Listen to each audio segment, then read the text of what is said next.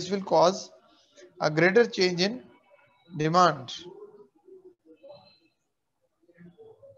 इसकी एक और एग्जांपल करते हैं। इसका दूसरा पर्सपेक्टिव समझाने के लिए।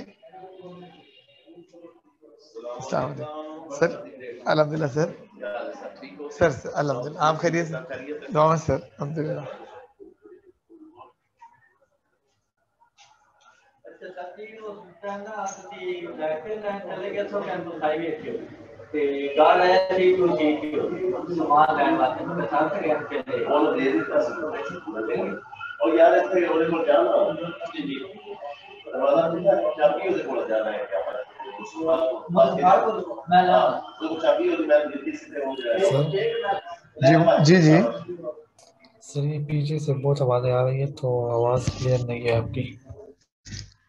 अच्छा एक सेकेंड पता क्या यहाँ पे कॉलेज है ना सर मैं कॉलेज में वक्त तो यहाँ इसका ऑफ़ टाइम हो गया।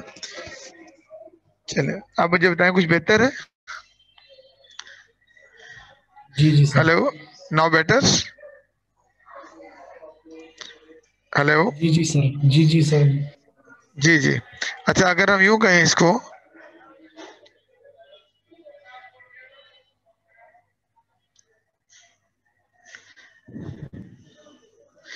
प्राइस जो है वो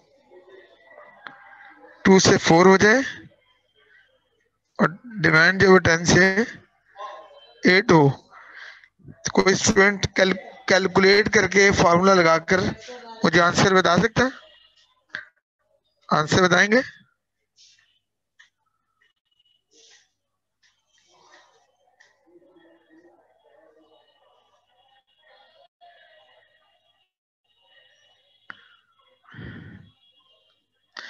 कोई स्टूडेंट कैलकुलेट करके आंसर बताएगा? डायरेक्ट कर लेता हूँ मैं।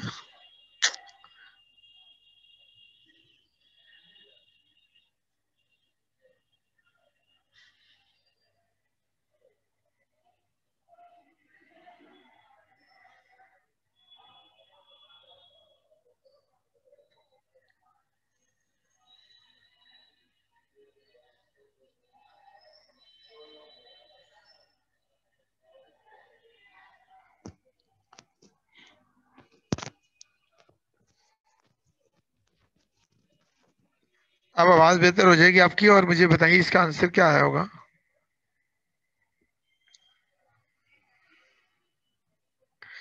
अब ये याद रखें कैलकुलेशन आप लोग खुद कर रहे हैं, मैं नहीं कर रहा हूँ। मिस्टेक होगी तो आप रिस्पॉन्सिबल हैं, क्योंकि कैलकुलेशन आप कर रहे हैं इस वक्त। इसलिए दो तीन स्टूडेंट्स करके तो टैली करवा लिया करें जरा।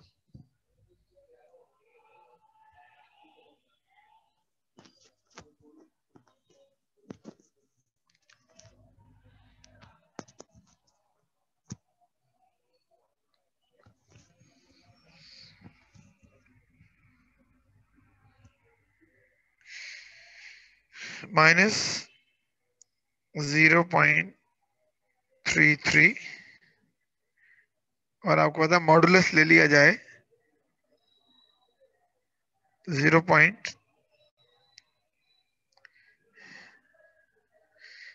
less than one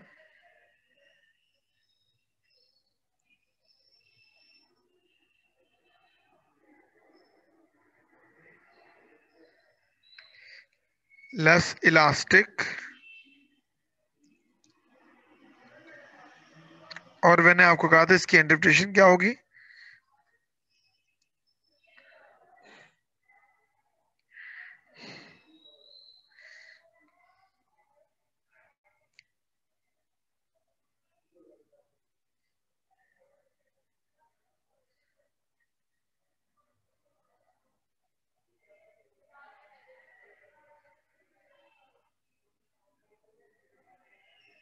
A greater change in price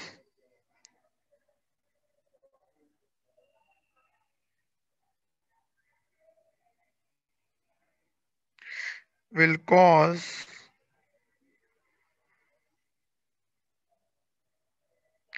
a smaller change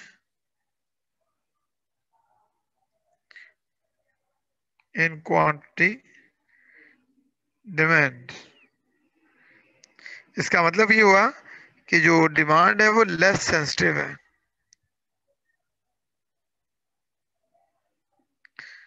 याद रखने इसका मतलब क्या हुआ?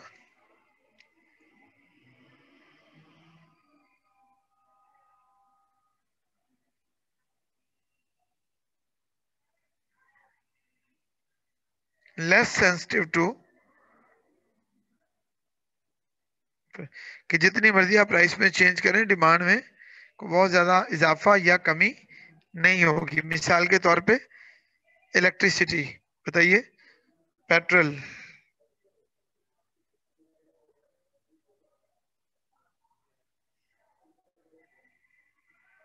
ऑयल एंड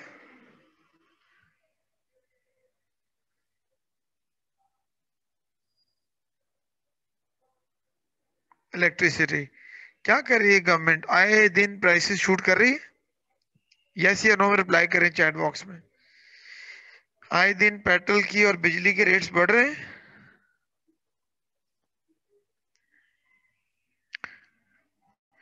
तो क्या आपको रोड पे क्या नज़र आता है कि गाड़ियाँ चलना बंद हो गई हैं?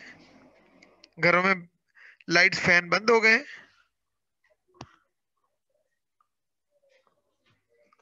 ऐसा कुछ भी नहीं हुआ ना।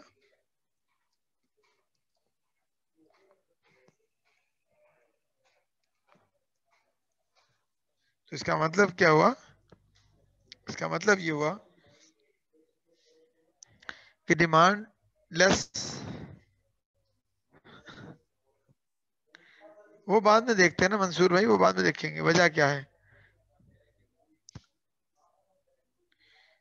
ठीक है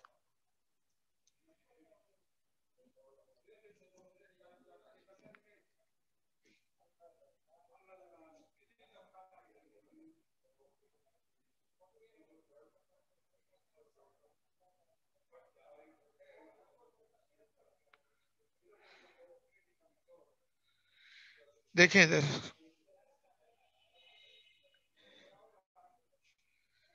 अगर स्टीपर हो ना डिमांड का,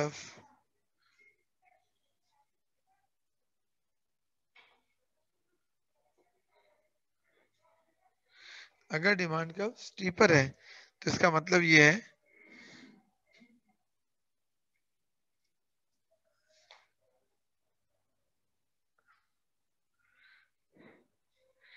इसका मतलब ये है,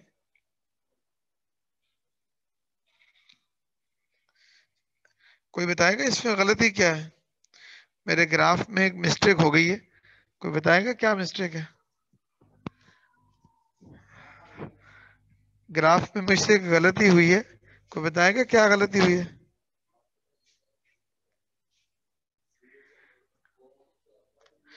जी, मैंने सप्लाई का कब बना दिया?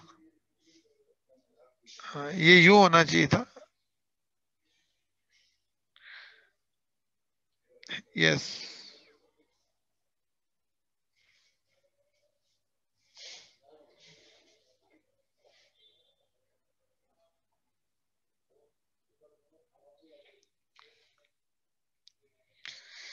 अच्छा जी अगर डिमांड का स्टीपर हुआ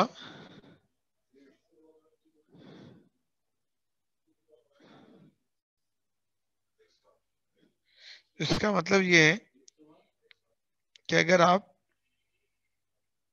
इसका मतलब ये हुआ कि अगर आप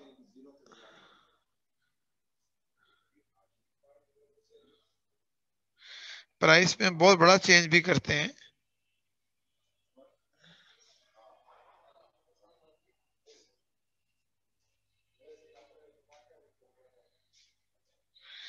प्राइस में अगर बहुत बड़ा चेंज भी आएगा तो डिमांड में लेसर चेंज आएगा। तो ये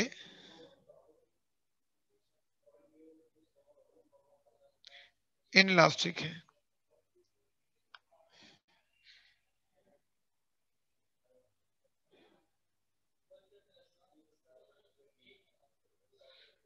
और अगर ये फ्लैटर हुआ तो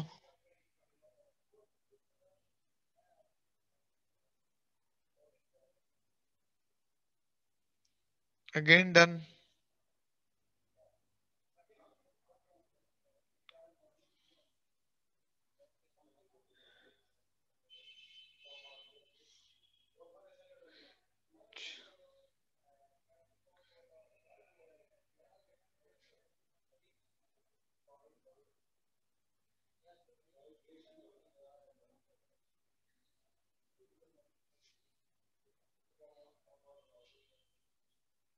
आप ये कहेंगे कि एक माइनर सा चेंज किया हमने प्राइस में। और डिमांड सेंसिटिव है। आप समझिए बात?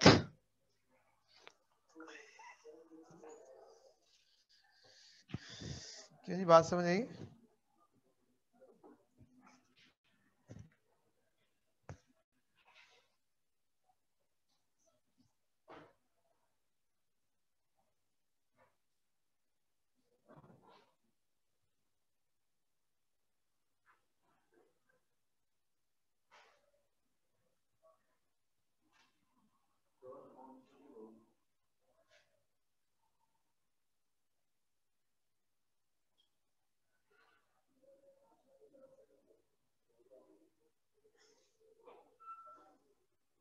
नहीं एलेबरेट क्या करना है इसमें?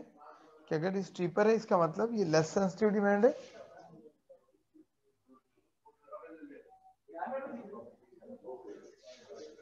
इनइलास्टिक है, और अगर ये फ्लैटर है तो मोर सेंसिटिव है मोर इलास्टिक है।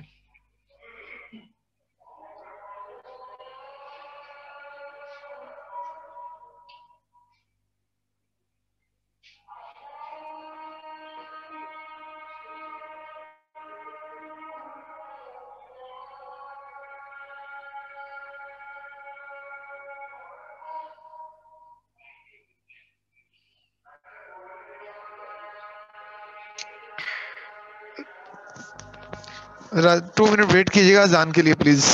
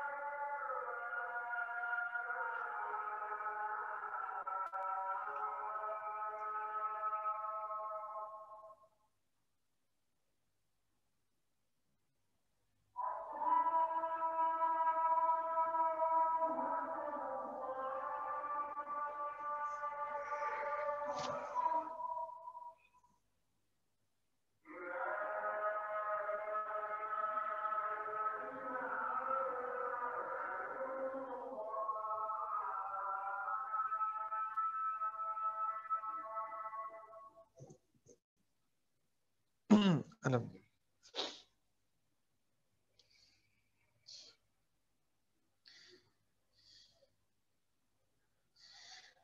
यहीं से हम लोग इलास्टिसिटी ऑफ़ सप्लाई को भी डिटरमिन कर सकते हैं।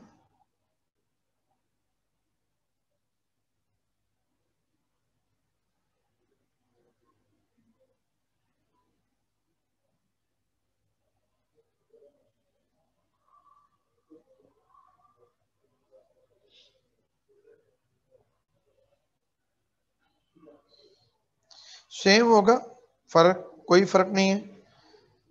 उसमें हमने इलास्टिसिटी डिमांड लिखा था percentage change in quantity demand किया था, यहाँ सप्लाई करेंगे, यहाँ पर चेंज प्राइस किया था। फॉर्मूला वही है।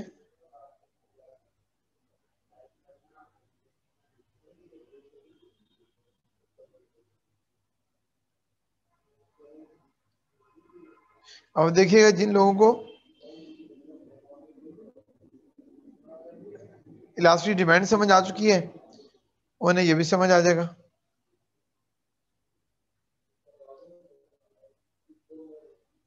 क्योंकि इसमें फ़र्क कोई नहीं है ना, उसमें फॉर्मूले सिर्फ़ ये है कि जब हम प्राइस देखते हैं कि प्राइस इंक्रीज होती है, हमने पढ़ा था क्वांटिटी सप्लाई क्या होती है जी?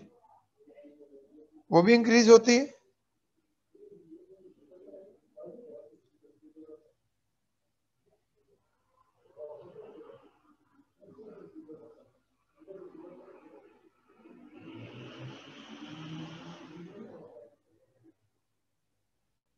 ये होगा।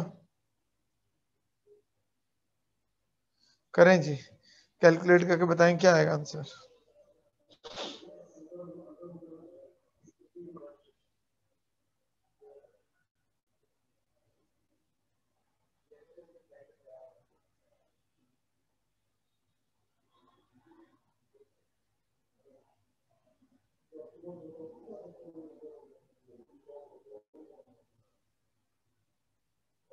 तो स्टूडेंट इसका आंसर बताएँ क्या आएगा?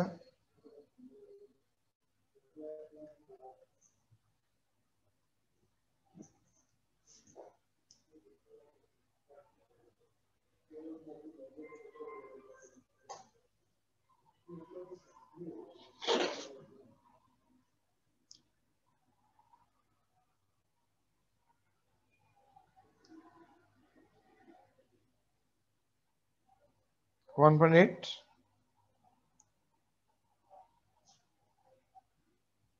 greater than one. one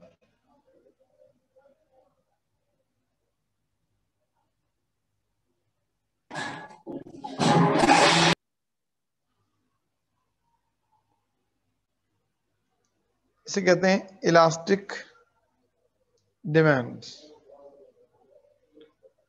elastic demand sorry again demand demand demand demand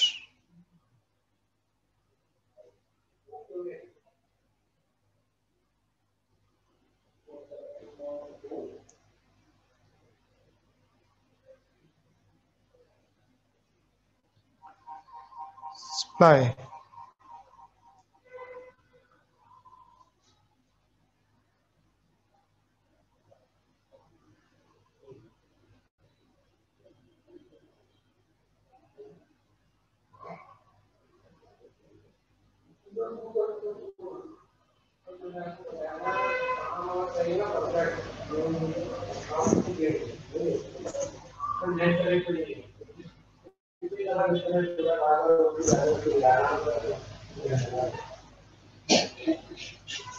करें इसका क्या आंसर आएगा?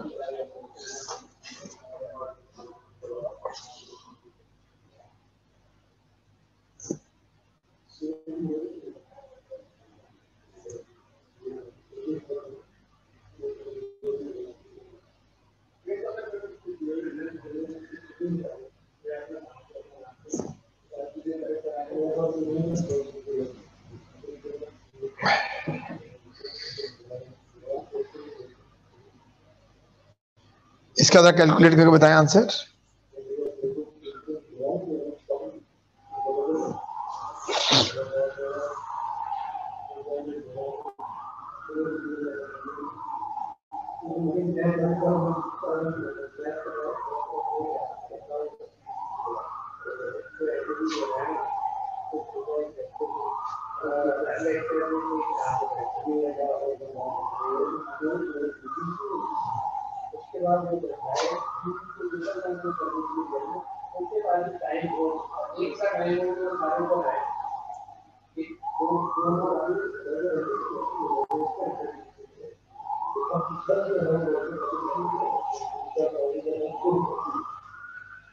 वन पॉइंट फोर हाँ मैं भी क्या थी, गलत हो गया फिर तो ये।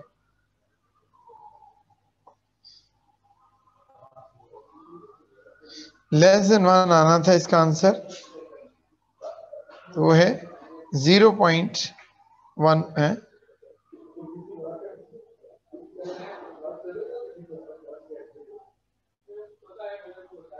ज़ीरो पॉइंट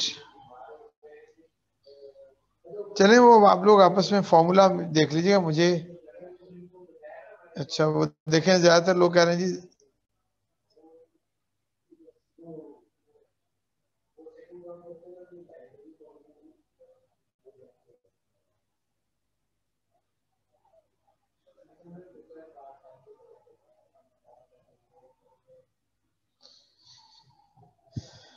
हाँ जी, बिल्कुल सही कह रहे हैं।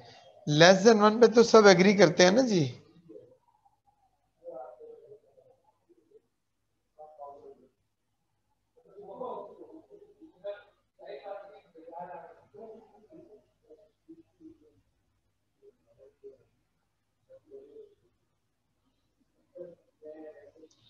Less elastic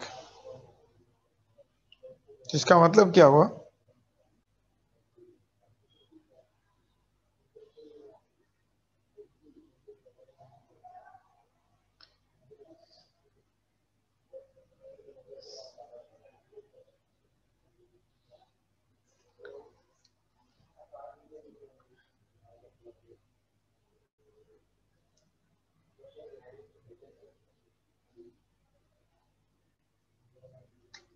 Less elastic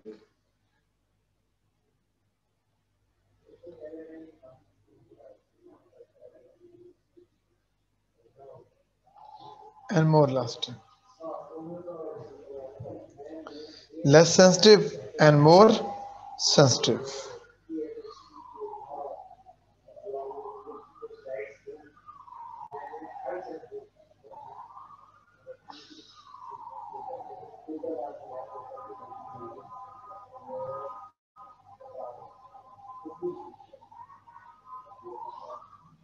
less sensitive and more sensitive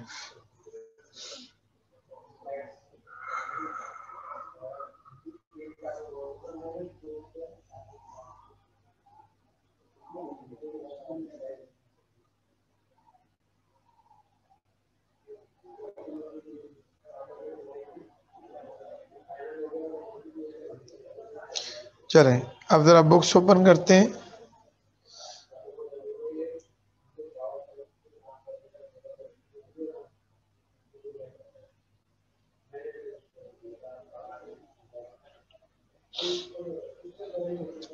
में चूँकि बहुत कुछ होगा लेकिन हमने बहुत कुछ तो नहीं करना। ना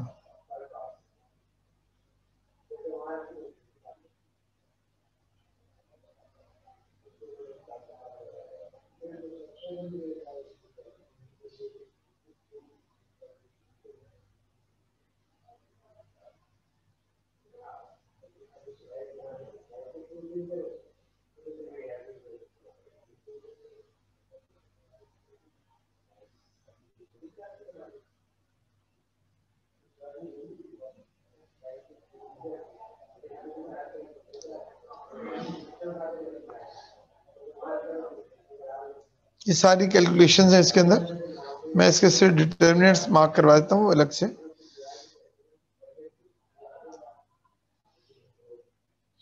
बल्कि इसको शुरू में देख लें जरा। शुरू में दिए मैंने इसके डिटर्मिनेंट्स देखें जिधर फैक्टर्स फैक्टर्स और डिटर्मिनेंट्स कैसे पता चलता है कि प्रोडक्ट जो है वो उसकी डिमांड सेंसिटिव है या नहीं है? पहला देखें। नेचर ऑफ़ कमोडिटी या तो ये नेसेसिटी है या ये लग्जरी है। अगर तो ये प्रोडक्ट नेसेसिटी हुई तो हर शख्स इसको बाय करना चाहेगा। चाहे कुछ भी प्राइस हो जाए, लेकिन अगर लग्जरी हुई तो प्राइस ज़्यादा होने पर लोग इसको खरीदना छोड़ देंगे। तो नेसेसिटी के केस में ये लेस सेंसिटिव होगी और लग्जरी के केस में ये सेंसिटिव होगी। नंबर ऑफ़ सब्सटीट्यूट्स अगर अल्टरनेटिव बहुत ज़्यादा हो गए, लोगों के पास बायर के पास बायर के पास चॉइस ज़्यादा है तो बायर तो आसानी से स्विच कर जाएगा। तो सेंसिटिव डिमांड हो जाएगी। और अगर ऑप्शन या चॉइसेस या सब्सिट्यूट ना हुए तो फिर ऑब्वियसली बायर स्टे करेगा, उसके बाद ऑप्शन नहीं होगी तो लेस सेंसिटिव डिमांड होगी।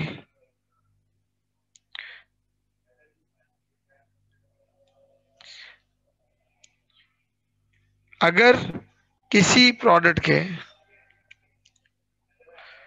मल्टीपल यूजेस हैं, मिसाल के तौर पे वुड वुड प्लास्टिक स्टील कोई भी ऐसी, किसी भी तरह की कोई ऐसी product like water like electricity किसी भी तरह के यूजेस में आती है तो देखना पड़ेगा कि वो जो प्रोडक्ट है, उसके किस, कितने ज़्यादा यूजेस हैं। अगर तो उसका यूज़ नेसेसिटी के तौर पे हो रहा है तो वो इनलास्टिक होगी। अगर लग्जरी के तौर पे हो रहा है तो सेंसिटिव होगी। मिसाल के तौर पे अगर बिजली कारखानों में इस्तेमाल हो रही है फैक्ट्रीज में यूज़ हो रही है तो वो तो अफोर्ड नहीं कर सकते कि जरा सी भी फ्लक्चुएशन आए। तो वो हाई रेट के ऊपर भी अनइंटरप्टेड इलेक्ट्रिसिटी परचेज करने को तैयार होते हैं। ड्यूरेबल गुड्स एंड पेरिशेबल जो चीज़ें स्टोर की जा सकती हैं लॉन्ग टाइम के लिए, जो भी ड्यूरेबल्स उनकी डिमांड आप मिसाल के तौर तो पर प्राइस इंक्रीज हो गई तो आप कहते हैं, यार, बाद में बाय कर लेंगे, कोई ज़रूरत नहीं। और अगर सस्ती हुई तो आप कहते हैं परचेज कर लो यार, ये कौन सी खराब होने वाली चीज़ है परचेज कर लेते हैं। तो ड्यूरेबल्स के लिए सेंसिटिव होती। लेकिन जो पेरिशेबल है वो आप कहते हैं, यार, खरीदनी खरीदनी है। लेकिन ये है कि सिर्फ़ उतनी खरीदो जितनी ज़रूरत है। ना तो सस्ती होने पे बहुत ज़्यादा परचेज की जाएगी और ना ही महँगी होने पे आप बहुत कम बाय करते हैं, क्योंकि सस्ती होने पे इसलिए ज़्यादा परचेज नहीं कर लेते पेरिशेबल कमोडिटीज होती हैं। प्राइस लेवल कुछ चीज़ें ऐसी होती हैं जिनकी प्राइसेस या तो बहुत कम होती हैं, या बहुत ज़्यादा होती हैं। मिसाल के तौर पे सॉल्ट मिसाल के तौर पे किया स्पोटेज अब आप खुद सोचें, जिनकी प्राइसेस एक्सट्रीम लो या एक्सट्रीम हाई होती हैं, उनका बायर तो खरीदता ही खरीदता है। सॉल्ट इसलिए लेस सेंसिटिव है कि सॉल्ट की प्राइस इतनी नॉमिनल है, इतनी नॉमिनल है कि दस रुपए किलो है और बीस रुपए किलो भी हो जाए तो लोग फिर भी उतना ही परचेज करेंगे जितना पहले बाय करते थे। Ball point erasers sharpeners lead pencils ये वो चीज़ें जिनकी प्राइस इतनी लो हैं कि आप इनकी प्राइस को बॉदर नहीं करते, इनकी डिमांड लेस सेंसिटिव ही रहती है। इसी तरह किया स्पोर्टेज है विजल्स हैं मर्सडीज हैं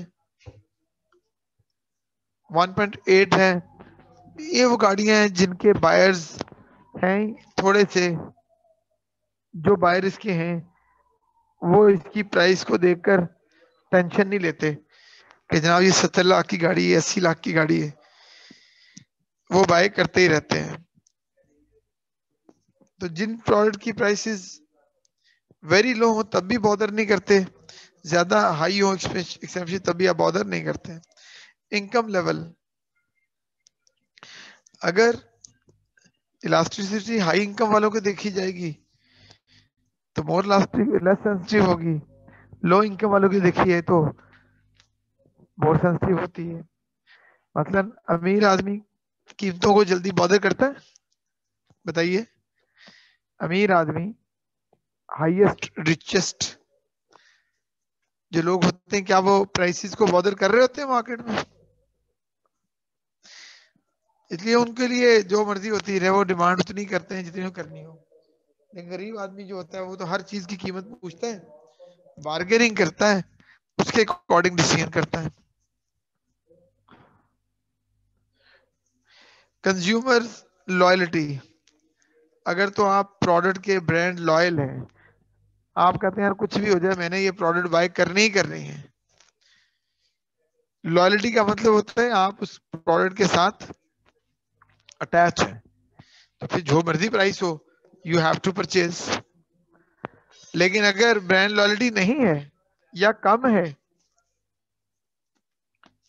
ब्रांड लॉयल्टी नहीं है या कम है तो फिर प्राइस चेंज होगी तो आप भी अपनी डिमांड चेंज कर देंगे। टाइम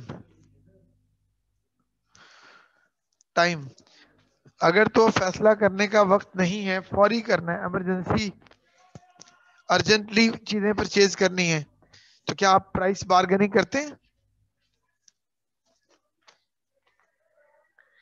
जैसे ईद के दिनों में ट्रेन के टिकट्स गाड़ियों के टिकट परचेज करने जाते हैं तो आप करके ही आते हैं, वापस बार्गेनिंग नहीं करते हैं। क्यों? टाइम शॉर्ट होता है ना डिसाइड करने के लिए। लेकिन अगर आपका टाइम ज़्यादा हो, आराम से आपने को फैसला करना हो फिर तो प्राइस के ऊपर बार्गेनिंग करके ही आप डिसीज़न करेंगे। The proportion of income spend कुछ चीज़ें ऐसी होती है जिन पे आप अपनी इनकम का बड़ा बजट खर्च करते हैं। उनकी डिमांड रोज रोज चेंज नहीं करते आप। मतलब अगर आपका घर है तो आप रोज रोज घर तो चेंज नहीं करते, गाड़ियाँ रोज रोज चेंज नहीं करते रेफ्रिजरेटर बार बार चेंज नहीं करते।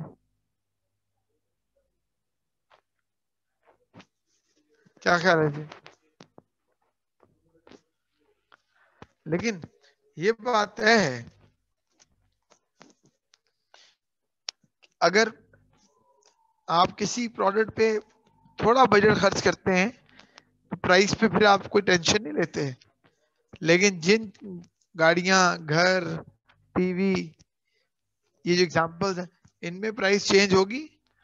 तो आप बॉदर करेंगे, क्योंकि आप सोचते हैं, यार, ये बहुत बड़ा बजट है इसका. Green chilli lemon cucumber garlic laces shoe polish इन चीज़ों की प्राइसेस को बॉदर क्यों नहीं करते? क्योंकि आपकी इनकम में बहुत कम बजट है इसका। तो जितना बजट कम होगा, उतनी लेस सेंसिटिव होगी। जितना बजट ज़्यादा होगा, उतनी आप उसको बॉदर करेंगे। क्यों जी, यहाँ तक समझ आ गया पॉइंट्स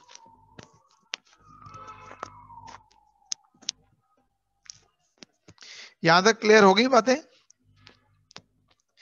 आप लोगों को यहाँ तक क्लियर है तो चैट बॉक्स में बता दें। और अब आपने इस चैप्टर के एमसीक्यूज जो है वो प्रैक्टिस करने, और कल फिर या नेक्स्ट क्लास जब भी होगी तो उसमें आप लोगों ने अपने जो एमसीक्यूज के प्रॉब्लम्स होंगे वो शेयर करने हैं। ठीक है डियर यहाँ पे ओवर करते हैं इंशाल्लाह इसको। सी यू नेक्स्ट वीक अल्लाह हाफिज।